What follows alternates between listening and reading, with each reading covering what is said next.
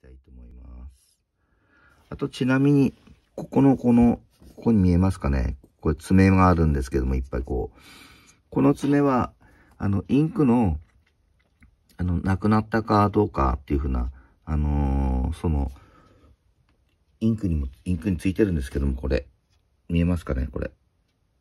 そう。この、あのー、接点になりますので、この接点はね、ちょっと何かで拭いておいた方がいいかもしれないね。うん。あの、よくあの、基板をこう拭くような、そういった液体とか、あとは、あとは何だろう。あのー、除光液みたいなのでもいいのかなと思うんですけども、綿棒につけてちょっと拭いておいた方がね、いいかなと思います。私、それもやっておきます。こんな感じだね。こう、全部。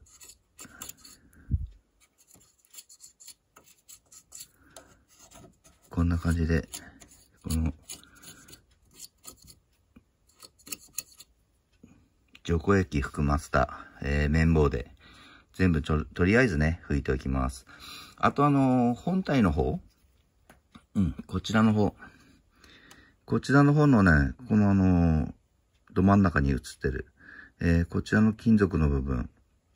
こちらの接点の方もね、あの、念のために拭いてから、あの、ここにセッティングしたいと思います。このようなね、サポート番号、えインクが、インクなしを検知しました。インクタンクを交換してくださいってなった場合、えー、ただね、これ、あのイエローの、えー、タンクはね、満杯なんです、実は。いいですか？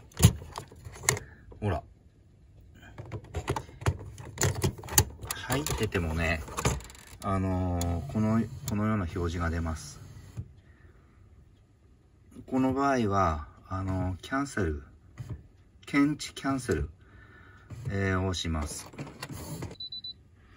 こう出たら、ここにストップってありますよね。このストップを長押し5秒。